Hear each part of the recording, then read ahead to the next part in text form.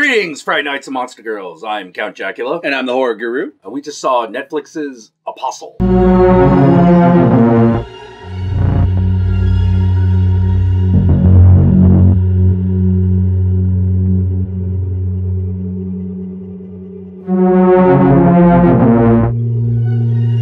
Hell yeah. By the new film by Gareth Evans, the director of The Raid and The Raid 2. Yep, And uh, I, I love this movie. I thought it was it's really good. excellent. the movie is excellent. It's it's kind of like a uh, like like a Wicker Man with a little bit more action shit to it, and a, Yeah. a, nice twist at the end. Yeah, yeah, yeah. now, if you so this is very much Gareth Evans' um, horror flick. Yes. You know, it's his version of a Wicker Man like horror movie. Mhm. Um, there. So you're gonna be like, wait, is there like an action scene in this movie? There's a couple. there are a couple, but couple. it's It doesn't not- dominate the movie. No, no, no, because it's not an action flick. No. You know, but it's got the G- Gareth Evans action Yes. in it. And it's always nice when those happen because they feel good. yeah, you yeah, know, like yeah. like the moment when you get the main character actually fighting back against like the, the evil cult guys. It feels Yeah. good. yeah, know? it feels really good. the basic premise of this movie is um, a guy played by Dan Stevens Yep. from The, the Guest, guest. Yeah. uh, has to rescue his sister from a cult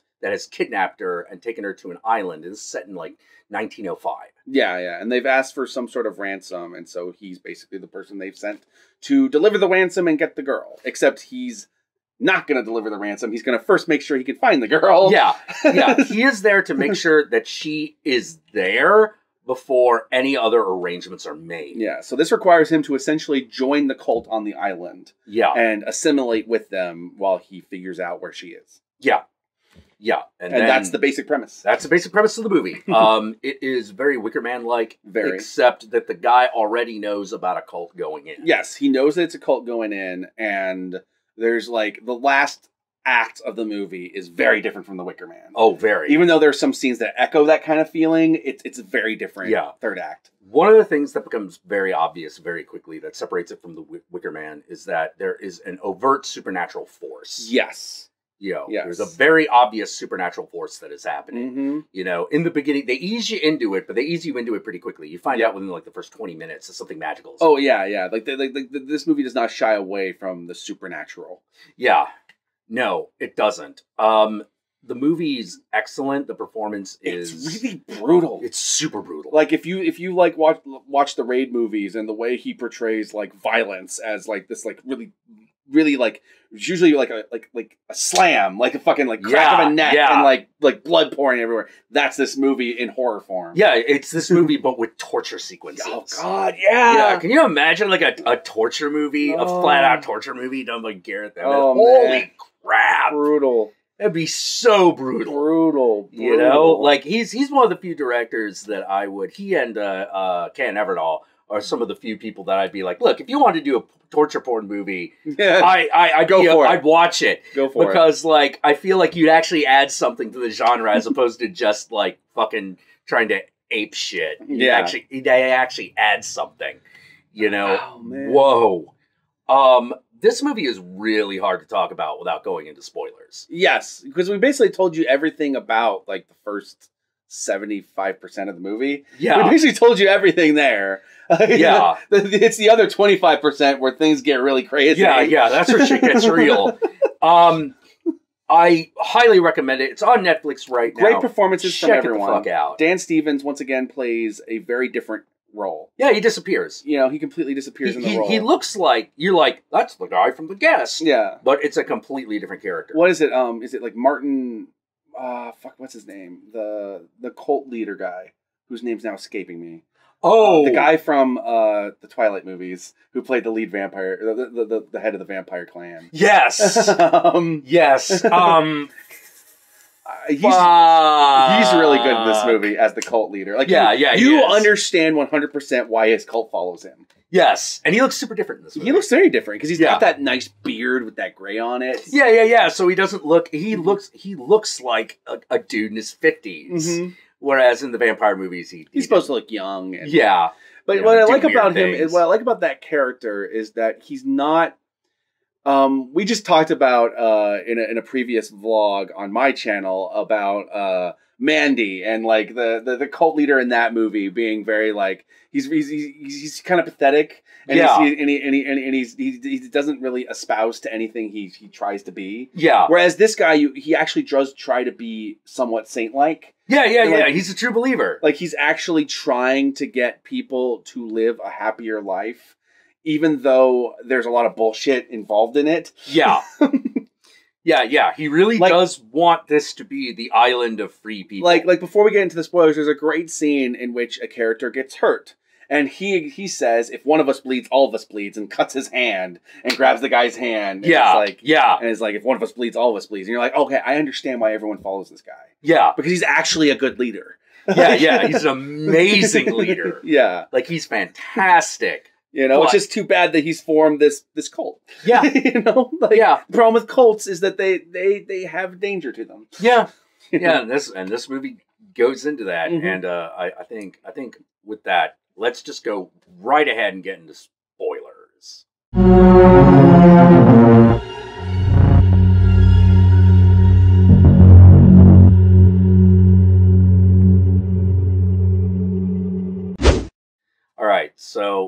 First biggest spoiler is that while you know that something magical is going on, what is going on is that these three criminals, Mhm. uh, who are the cult fathers, the They- guys who run the cult, They basically washed up on this island and they found this old, I can only assume like pagan goddess. yeah, goddess. yeah, It's like they don't name her, Yeah, but she's very obviously they like, constantly call her the goddess of the island. That's yeah, yeah, yeah, like she is some sort of, you know, whether you would call her Gloriana Mm-hmm. or fucking Tatiana or the Bobanchi. or just some sort know. of like nature spirit.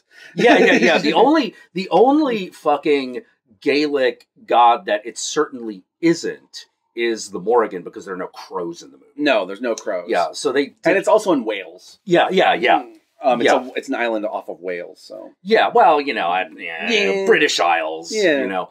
Um, but yeah, she looks like some sort of Celtic goddess, and she's old. She's beautiful, but she, she's very old but beautiful.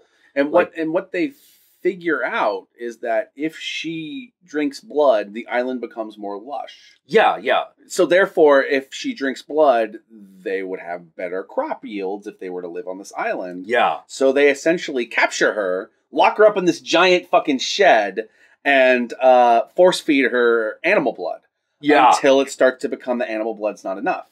yeah. And so then they start having to give human blood, and naturally, this is where the Yeah. kind of goes awry. And the, uh, yeah, and the escalation.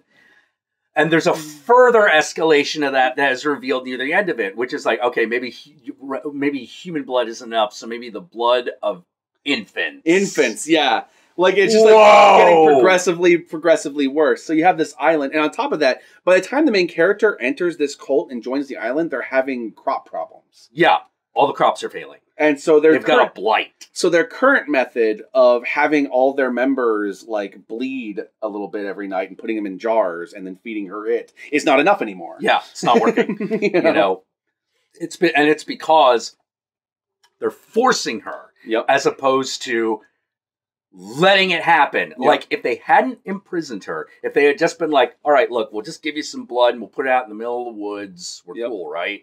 Probably everything would have been okay. Yep. But no, two of the fucking cult leaders had to be dicks about it. yeah yeah They had to be dicks about it. You, you had you had the main cult leader guy who agreed to all this and has been force feeding her his own blood to try to like Yeah. fix it. But then you have this other guy who is the true Yeah. villain of the movie beyond everyone Yeah. else. Yeah. You know, this other guy who has to take it way farther. Yeah, yeah, yeah. He's the one who suggested it, su- suggests infants. Yeah. At that point, I'm just like, just move off the island. Like, Yeah, yeah, just- yeah. It's not worth it. Yeah, just kill this guy. Kill this know, guy. Get, but this guy's already established as being incredibly violent and not stable. Um, And we see this through a subplot in which his daughter is dating one of the um, dating in secret one of the daughters of the of the third The, well, the sons of the, the son. Yeah, the of son. Another cult leader. Uh, the son of the Yeah, third. there are three. There are three cult leaders. this. there's the head one, and then there's the right hand man and the, and the the way left it, hand man. and the way it works is you have uh you have um the dude from Twilight is basically he is the face of the cult. He is Mhm. the one who proselytizes because Yeah. he's the speaker. Um, you have uh the big fat bald guy who's the one we're talking about currently. He is the muscle of the cult. yeah, yeah. he's the right hand man. And then you have the other guy, and he's the one who lures people from across the sea, um, and uses his boat to bring them there. yep. Um, so you have these three leaders, and the son of the boat dude is uh, secretly sleeping with the daughter of the of the bald heavy dude, and bald heavy dude don't like this. No. Um, and basically, this this plot line escalates to the point where she reveals she's pregnant, or he discovers she's pregnant rather, and he fucking kills her. Yeah. he fucking kills her, and then he pins it on the son of the other cult leader, and then takes over the cult. Yep. and this happens really fast. It happens really fast. So like the the the the, the other leader, you know, hmm. the true believer leader, like he's off dealing with another important thing. He's dealing with the fact that the the third leader wants to leave the island because he feels like this is escalating badly. yeah. But he doesn't know what's also going on. yeah, yeah, he has no idea what the other. He doesn't know that his son's to. being tortured by the by the big heavy guy yet. Yeah, yeah, yeah. It's one of those. You really get the feeling that it, this is one of those.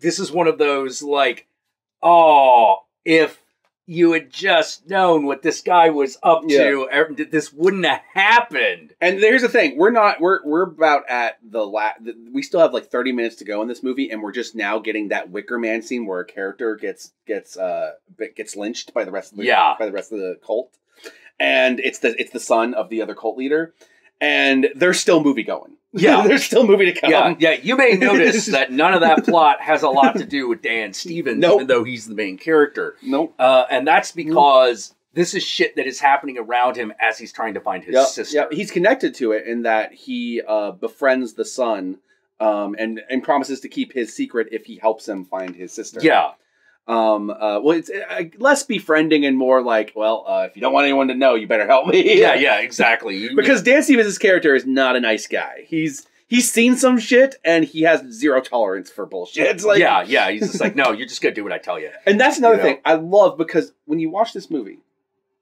you're initially sitting there going like, okay, this is called the Apostle because of the cult leader, right? No, that's not why it's called. Yeah, yeah, yeah. Dan Stevens is the apostle. Dan Stevens is the apostle because you find out over the course of the story that he was originally a priest of God yeah, he's a missionary. who went to Nanking, I think it was Peking. Peking, and was basically brutalized, tortured, and uh, Branded. branded uh, for for uh, for uh, being being a Christian. being Christian, because like and he lost his faith. Yeah, But he yeah, was yeah. an apostle of God. yeah, yeah, yeah. He's a follower of God. He was an apostle of God. Yeah, I And- love this the moment where everything's going ape shit. Mm. There's a woman who's go goes like, "The Lord be with you," and he goes, "And I hope not with you." You know, Yeah, because he's he's totally fucking like Jesus Christ. That's fucking Yeah. bullshit. I'm out. Yeah. Fuck you. and you- this is why throughout the entire movie he walks with his very particular limp. Yeah, and I loved it because Yeah. it's it's subtle. It's like you're just like, oh man, why does he do that? And you, you find out over the course of the story why.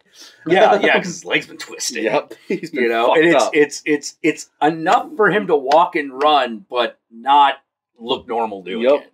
Yep. You know, Um, oh and man, and he's uh, also got like a drug problem because Yes. he's in a lot he's of dropping pain. opi- opioids the entire time. Yeah, yeah, yeah. Like I, I'm sort of like it, it looked like it's probably supposed to be laudanum or something. Uh, something like that. yeah, yeah, probably. yeah. But he's he's definitely like just drugging himself up because he's fucking in, in pain, and plus like a he's addicted to the painkillers at this Mhm. point, and b like he's he's psychologically tortured. And here is the biggest spoiler of the entire movie. It turns out he's not actually he's not the apostle because he's the apostle of God. No, He's the apostle of this goddess. yeah, And he didn't realize this until he confronts her. yeah, yeah. When he I've finally been waiting for you, You- for so long, Oh, my, son. Yeah, you're like, oh shit.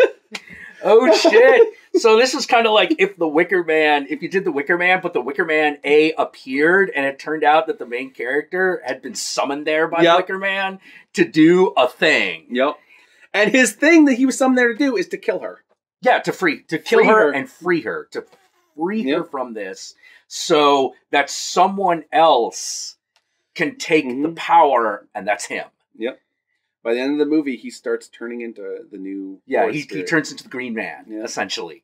You know, he goes, uh, which I was like, oh, that's super fucking That's cool. great. And I'm just like, okay, that's why it's called the Apostle, and it cuts right from that to the Apostle. the Apostle. I'm just like- yeah, so good. Clever title. so good. yeah, it's very. It, it- this is a very, um, you know, pagan uh, friendly movie. Yes. Yes. Unlike unlike the Wicker Man, which is very pagan phobic, this Yeah, movie is yeah. actually like okay with the pagan. Yeah, yeah, it's okay with the pagans. It's it's it's, it's, it's not all these Christian motherfuckers coming over and fucking these, shit up. these Christian motherfuckers that come over here and start a weird cult around our thing instead of actually respecting it. Yeah, exactly. it's about cultural appropriation. you want to take it that far, yes. Yeah, yeah. Well, you, you absolutely could. You absolutely could because it's it's it's a, it's a message of, of damnation in that direction.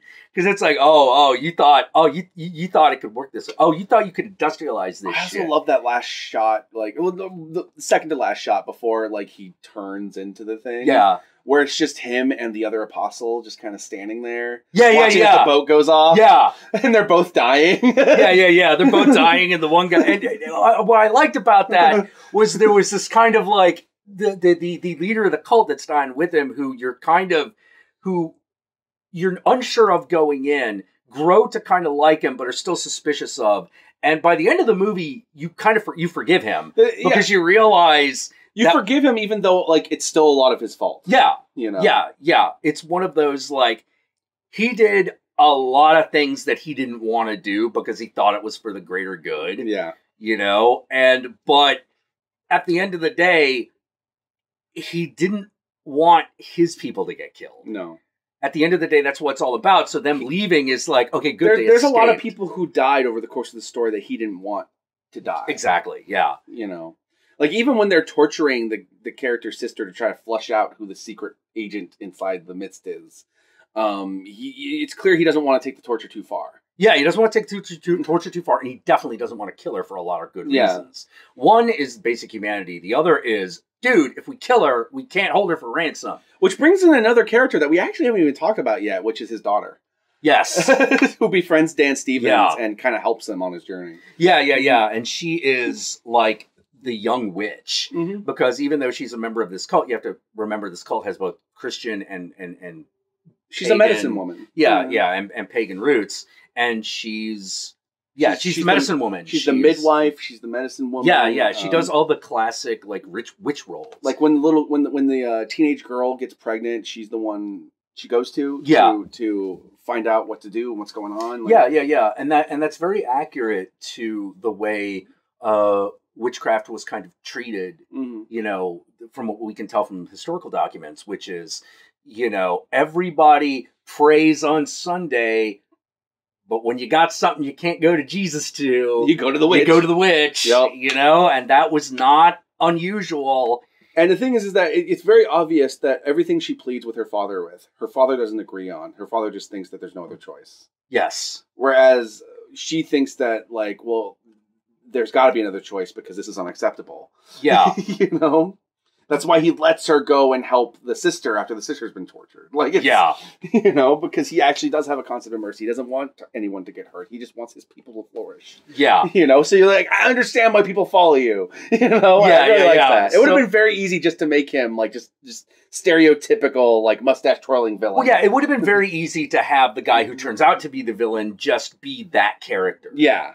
You know, but the movie's actually a bit more complex about it. And I liked that. I Oh, liked that. no. I even understand why why the fucking crazy heavy guy thought the way he did. oh yeah. you know, Oh yeah. Yeah, you as do. fucked up and as twisted as it was, it made sense. Yeah, well, that's that's a great that's a great case of I understand where you're coming from, but you're a monster and you got You're super monster. Well, the, the, the irredeemable thing he does beyond all else is when he pins the murder of his own daughter on the guy that loved her. Yeah, That's the moment where you're just like, no, you're just flat out evil. Yeah, yeah, yeah, yeah, yeah. I, I mean, it's one of those like just just in case fucking killing his own daughter wasn't enough. Like up until the point where you're like, well, I do not think the current leader is doing enough for our people. I do not think that his methods are working. I feel like we need to take this further. You can understand each part of that process, but the whole the way Yeah, the yeah, coup yeah. happens. yeah, because because even when he murders someone, he could just be crazy. hmm he could just be crazy, a crazy religious zealot. But when he pins it on the guy, that's when you're like, oh no, he's not a crazy Yeah. religious zealot. He's just evil. Yep. He's just Yep. awful. And even uses know. the fact that the guy attacked him when he found his his lover killed. Yeah, yeah, yeah. as, as like clearly he was trying to kill us. Like just, oh, Yeah. you fucking monster. oh man. That guy was great. Oh yeah, yeah, yeah. The actor was amazing.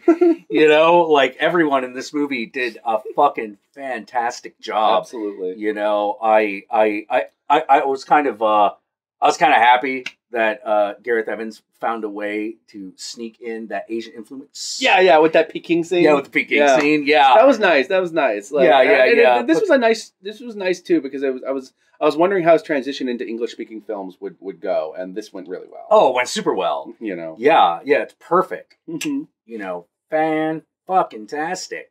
You know, fucking. Oh, oh god, I got to start doing something other than this these days. Oh yeah. fucking. hell, That's been tarnished. I know it has. It has been fucking fucking, 4chan tarnished. trolls and actual Nazis. I know, tarnished man. it. Because here's the thing. Here's the thing. Even like even though like that might have started as a troll, they've actually started to adopt it, so it becomes. Well, it's like it's, well, it's like the Pepe thing. Yeah. It's like once it's like that is not how that started.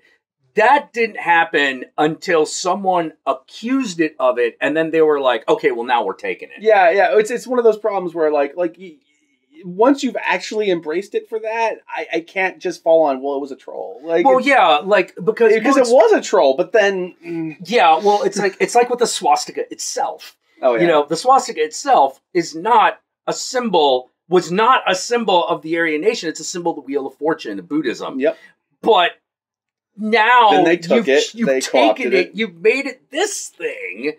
Fuck you. That's the you thing, know? world. Nazis have been doing this since the beginning of Nazism. So how, why is it surprising when they do it now? Yeah, exactly, exactly. you know, like, and uh, that, that that that's a bit of your symbolic magical theory right there. At Um, the end of this At apostle the end of this thing about the apostle, which is a great movie, and you should fucking watch it. Well, it. I mean, if you want to talk about modern politics, uh, big bald dude guy was very Trumpian. Oh, he's very Trumpy. He's Trumpy. He does psychotic and stupid things. You know, like look, I'm never gonna stop saying that. Oh, Trumpy, you can do stupid things. Um, so you should check out this movie. It's it's super good. If you are a pagan leading individual who likes your you know lord and lady, that you should definitely fucking watch this movie because it's all about that.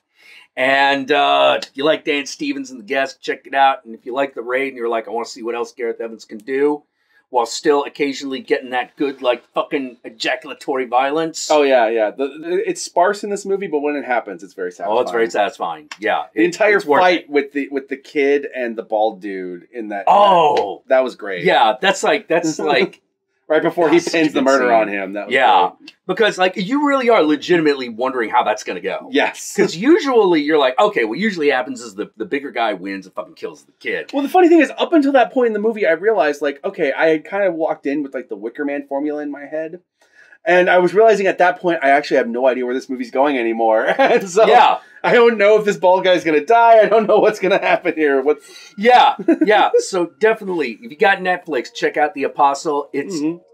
fucking fantastic. It is completely worth your time watching. And uh, where can they find you? You can find me at the Horror Guru on Twitter, on Twitch, on YouTube, and on Facebook. And uh, just look up the Horror Guru or Blood Splattered Cinema, and you'll find me there. And of course, I am Count Jackula. You're here. Hit that subscription bell, ring that notification button. You know what I fucking meant. And you can also find me on twitch.tv slash count underscore Jackula. We stream there every Thursday at 6 and every Sunday at 9, um, as, as well as randomly during the day when I got a couple hours free. Follow me on Twitter. Follow me on Instagram, Satanic Jackula, and look for me on Facebook, but I can't tell you what that is because I go there so fucking infrequently. Hey, So use the other platforms. yeah, use the other shit. Send me an Instagram, man. Like, I'll, I'll respond to an Instagram post. You know, just share that over and just be, hey, Count Dracula, fucking love you. I'll be like, right on, dude. Here's a. The only thing I'm not never going to give you is a dick pic. At, le- at least not one of my dick. I might give you a picture of a dick that's in a movie. Maybe. You know, and if you want me to do that, you can make that special request on Instagram, and I'll. I'll Now everyone's gonna send you pictures of Dick Cheney.